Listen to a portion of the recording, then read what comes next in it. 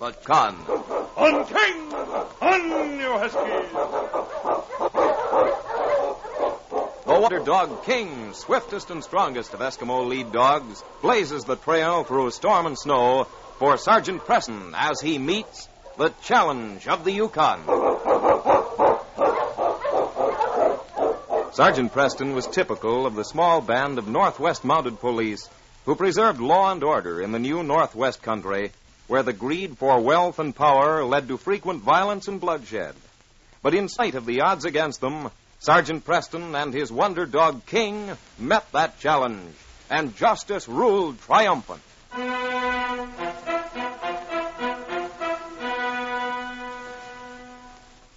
The small roadhouse of Jan Peters on the trail to Dawson City held very distinguished visitors one night in early winter.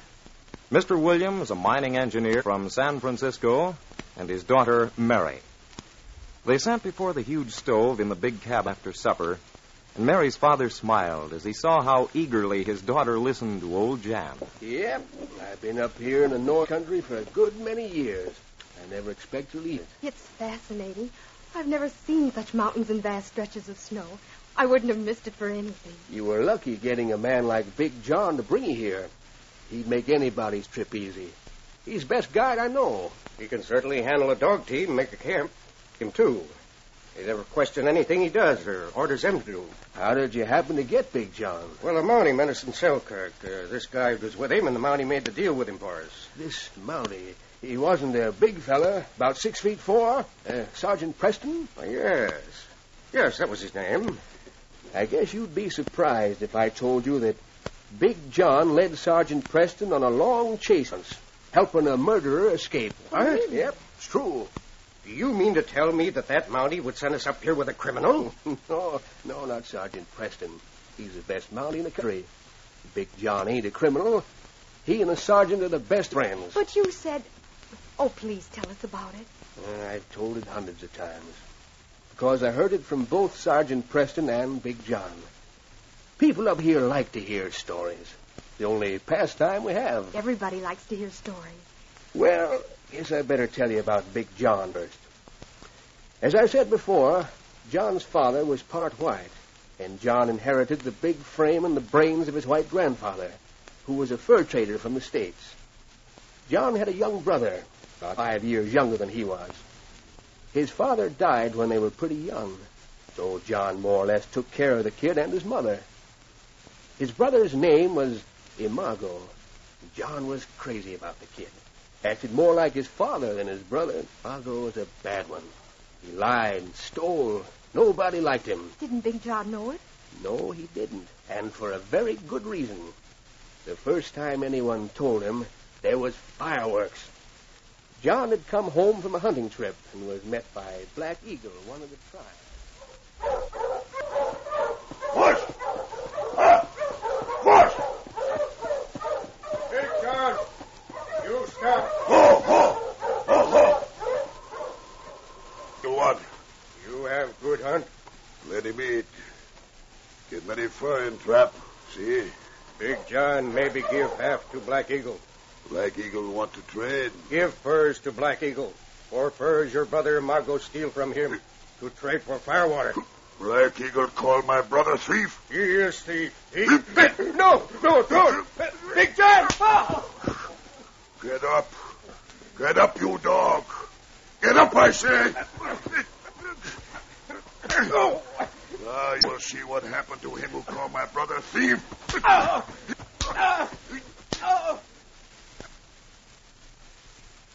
After that, no one dared tell Big John about the way his young brother carried on. John was powerful and had beaten Black Eagle within an inch of his life. Imago got worse and worse. But none of his doings reached the ears of his older brother.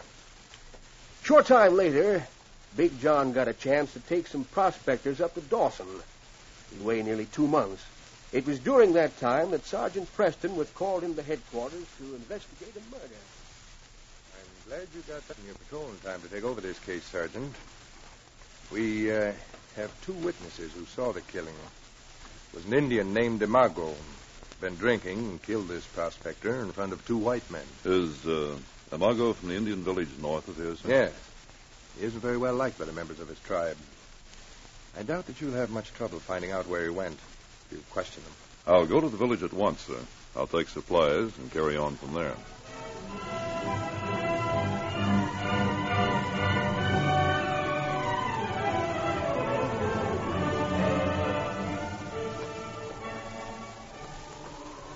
Hello, Black Eagle.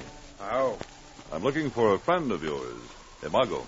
Imago, not my friend. Oh? You know where he is? Imago leave fast. Him go trail north. Him try me brother. His brother's the man called Big John. Uh, who know catch Imago if him meet Big John. Big John, best guy to north. Well, thank you, Black Eagle. I'm certainly going to try. On King! On, you huskies! It was just about that time that Imago met Big John on the trail, about 20 miles from the Indian village. Big John leering home and traveling light. He halted his team as Imago stepped out in front of him on the trail. Oh! Oh! Oh! Big John, at last I find you. Imago, what is wrong? Where you go? Man in town. He tried to kill me. We fight. I, I hit him, he fall. Now white man's law tried to get me. Big police fellow come. You tell white men what happened. I try. They say hang me. I run. White men not hang you. Come, we go to North Country. White men not find you if you with Big John. Sergeant Preston had taken the trail north. It was well traveled, and the trail of Imago had disappeared under the tracks of many sleds. He was about 15 miles out of town when he saw two figures beside a huge rock. He halted his team and approached them.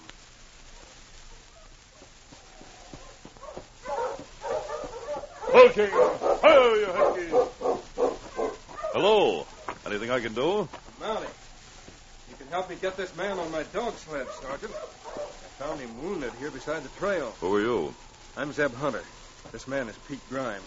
He's been stabbed. Oh? It was a half-breed. He, he jumped me from behind this rock. Took my supplies. Are you badly hurt? He got him in the shoulder. I can get him back to town all right. Are these the tracks of the half-breed? Yes, I think he went north. I see. This is going to make it easier for me.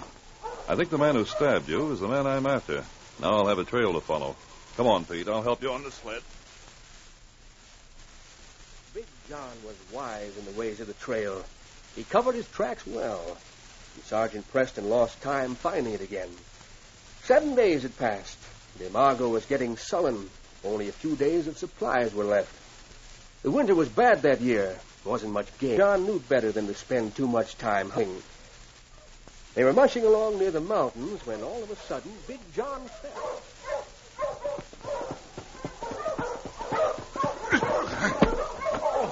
Oh, oh, oh. Big John, you all right? Uh, Foot, I, step in hole. My ankle, it, it broke, I think. You try stand. Here I help. Oh, no, no. I, I cannot. What do we do? We make camp.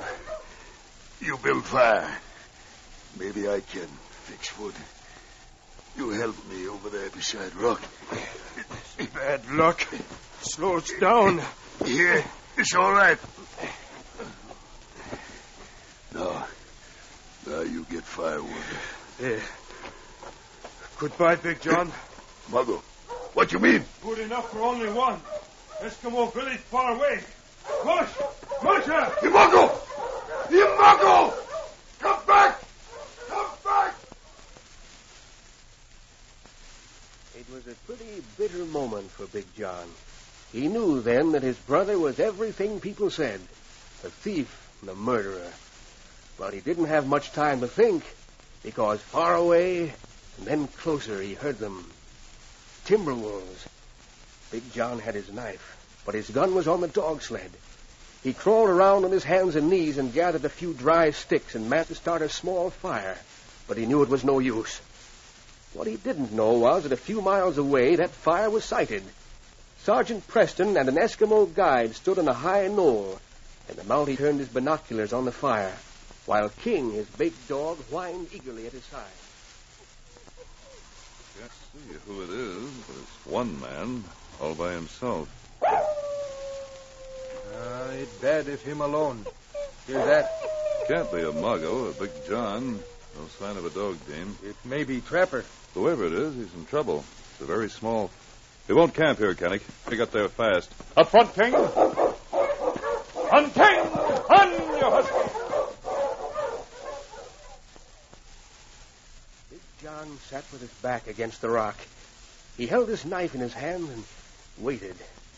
Three big wolves sat watching him across the little fire. Their green eyes gleamed, and as the fire died, they crouched and crawled closer on their bellies. They were lean and starved and slightly mad with hunger. And then, as the fire died down, the biggest one sprang. Big John met it in the air with his knife ready, and then suddenly he heard a rifle shot. And he saw the gray shape of a huge dog spring at one of the wolves coming at him from the side. There goes the other one. You all right, man? You, you come.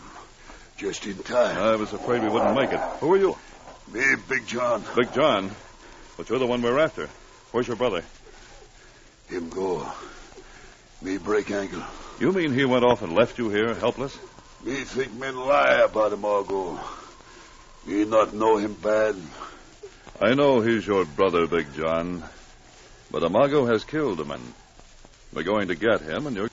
We'll make camp here tonight, and I'll fix your ankle. Me owe you my life.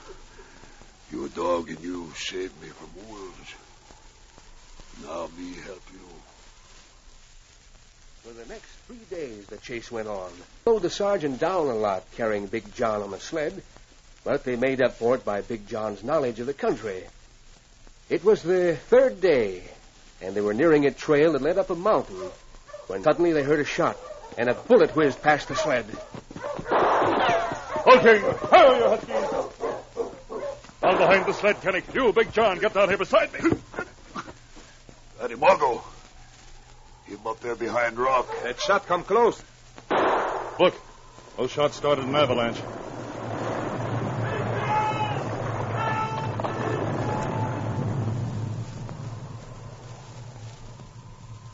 Well, that's the end of Amago. It better this way. It better that Martin kill Imago. Yes, John. I'm glad it happened, too. Well, come on, we'll go back now. And so Sergeant Preston and Big John got to know each other. The Mountie never arrested him for trying to save his brother. And since then, Big John would die for Sergeant Preston. This is an amazing country, isn't it? It's a hard country, but a wonderful one. Are there are many stories as exciting as that one about it? Millions of them. I could tell you dozens about Sergeant Preston and that big dog of his. There's one thing sure. If a man has committed a crime, there's one thing he hates to hear. And that's Sergeant Preston coming after him through the snow, his voice ringing out in the stillness.